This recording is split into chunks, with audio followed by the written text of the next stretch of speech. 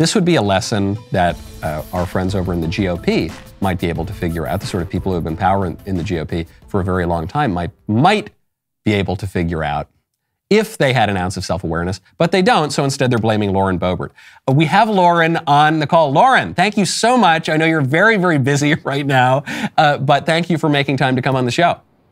Absolutely. Thanks so much for having me on, Michael. So, Lauren, where does it all stand? We've given a recap of, of the, the speaker fight through last night on the show. Kevin McCarthy lost three rounds of voting two days ago. He loses three rounds of voting yesterday. You and those terrible, evil House Freedom Caucus Republicans, you're, you're not budging here. So what happens?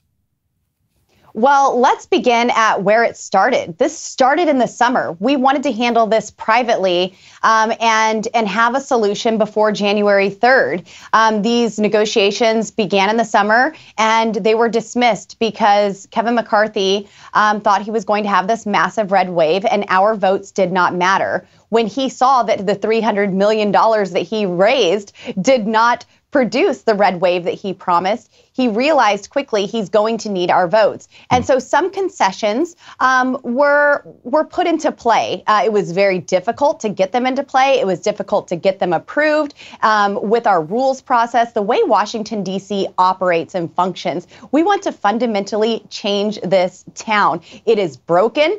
Um, it, it is less popular with the American people than cockroaches. Uh, so we have to get something right here, and we cannot go along with the status quo. Well, on January 2nd, um, two of my fellow colleagues and myself, Matt Gaetz, Scott Perry, we walked into uh, Leader McCarthy's office after whipping votes all day long and handed him 218 votes.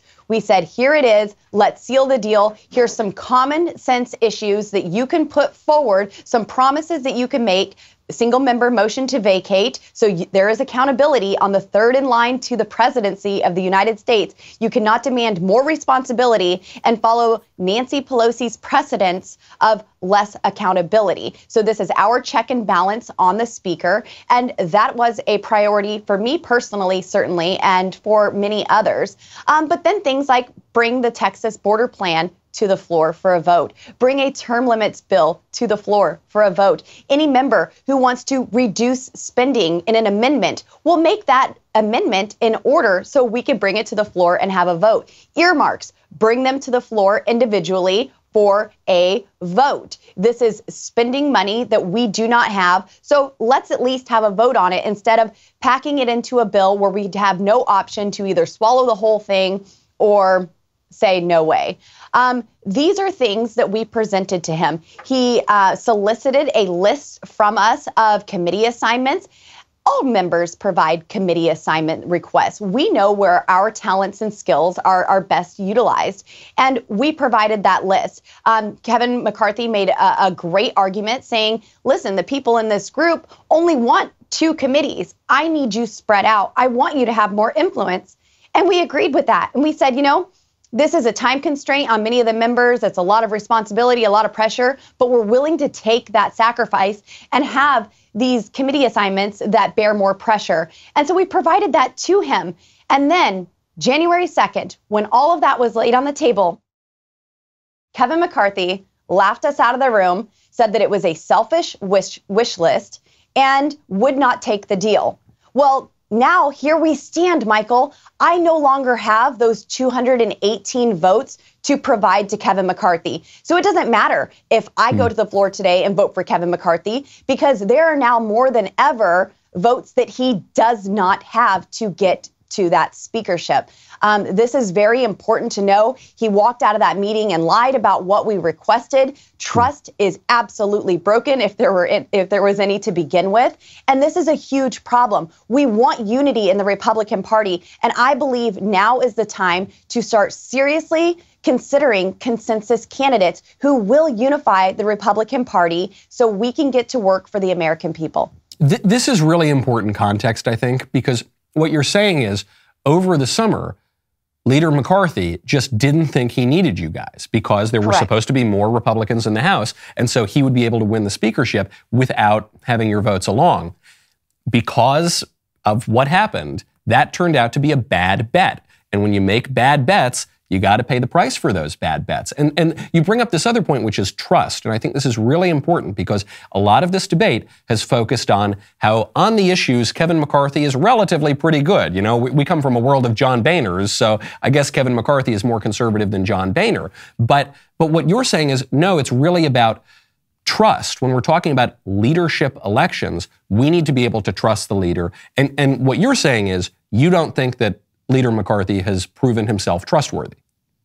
Correct. And that's why we wanted the tools implemented um, to where maybe we don't need to trust him because hmm. the individual member is empowered enough to get the job done and is not ruled by a dictator as uh, as speaker. Um, this is not a kingdom that we live in. We don't anoint a king. I, I, believe that this is how our founding fathers intended this process to work. Our vote um, is there to be debated, not just um, rubber stamped and cast to the biggest fundraiser.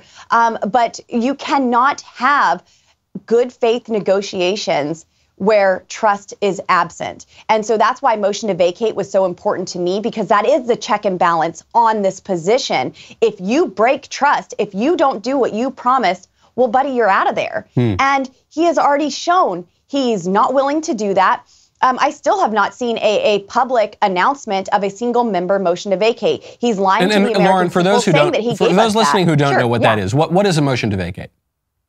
A motion to vacate um, gives us the opportunity to remove the speaker and have another vote for speaker if necessary. This is something that does not get used, but it's available. This is something Thomas Thomas Jefferson um, wrote and has been in effect for nearly two centuries. And Nancy Pelosi was the first speaker in history to modify that. She removed that individual empowerment from the uh, from the member and uh, and said you no longer have a say in this. I get to rule how I want, and you don't have a check. You don't have a balance.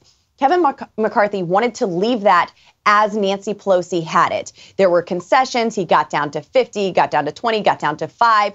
No, Thomas Jefferson wrote it as one member. Any one member hmm. can bring that motion to vacate the chair forward. And that is our accountability. This is something that was my red line. And uh, I've only heard from a staff member who chased us out of the GOP conference and begged us to vote for Kevin McCarthy. We'll give you a single member motion to vacate. And I said, that's adorable. Where's Kevin saying it? Hmm. So, so th- th- I guess this is now where the rubber meets the road.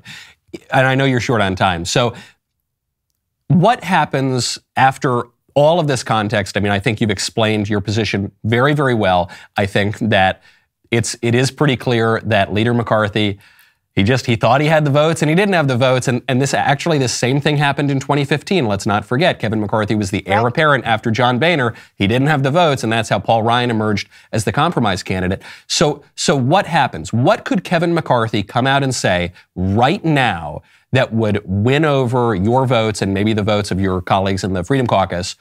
Or if there's nothing that he could say, who, who would you support today? I know that this is a little bit in flux, but who would you support today to replace him? Right. So we have been offering a menu of other candidates. Um, I, I, don't believe that my my switching to Kevin McCarthy matters because there are so many who are solidly Kevin. You can issue a public apology. You can change all the rules. You can wear a straight jacket and and just have a portrait that says that you're speaker and we get to run this place. And they're not going to vote for Kevin McCarthy. So at this point, we do have to start looking forward um, to other other candidates. And I can name 200 who are potential candidates right out of the conference GOP. I'm excluding myself, so that's why that number is 200, and Kevin's excluded as well. um, but you know, this this is something that we have to start talking about. We've presented um, Jim Jordan's uh, Jim Jordan. We have um, presented Andy Biggs. We've presented Byron Donalds. Um, I've heard Jim Banks' name um, be voted on in in these during these votes. Maybe it's someone outside of Congress. Maybe it's a Lee Zeldin who actually won us the majority without his efforts in New York running for governor, we wouldn't have the majority. Yeah. And maybe it's it's someone who is in the conference, um, like a Kevin Kevin Hern, who is currently chairman of the Republican Study Committee, which is the largest caucus in the Republican conference. He was unanimously elected with 173 votes to chair that committee, and he actually has a balanced budget that he wants to put on the floor, which is another thing that Kevin denied in our proposal on January 2nd. Uh, so maybe it's someone like that who already has the trust of the conference and can truly get to 218. Before I let you go, Lauren, is is the trust now just irreparably broken? That is to say, if Kevin McCarthy came out and issued a statement and said, "Okay, I'll give you a single member motion to vacate. Okay, I'll give you this, that, or the other thing," one, would that change your vote? And two, would that change enough votes to to put him into the speakership? I know you've suggested maybe not, but but just to be totally clear, are you saying that from the people you're talking to, McCarthy's speaker candidacy is is actually dead? It's dead.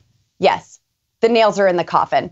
And uh, there are plenty of members who are cheering our efforts on, who are afraid of retribution. Um, we were threatened in conference. It, it, was it was a nightmare in there. We were threatened um, by steering uh, um, committee members who who actually assign committees to members of Congress that um, if we vote against Kevin at all, we will not receive committee assignments. And Kevin McCarthy affirmed that. He stood up and said, Your district elects you, your conference elects what committee you are assigned to.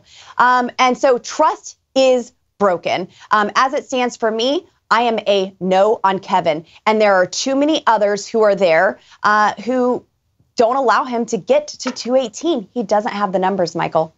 Wow. That's that's really really big, and I have to tell you, I know that people are pulling their hair out over this, especially in the establishment GOP.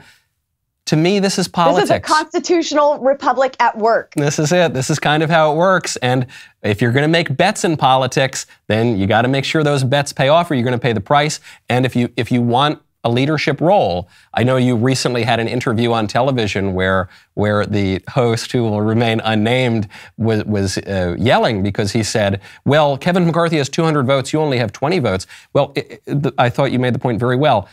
The first test of a congressional leader, someone who is in leadership, someone who's the Speaker of the House, is can you get the votes that it takes to put you into the office? Because the whole job right. is getting the votes and creating consensus. Lauren, thank you so much for taking the time today. I will be waiting with popcorn, maybe with some booze, as Kat Cammack suggested people do, to, to see how this fight uh, plays out. Thank you for coming on.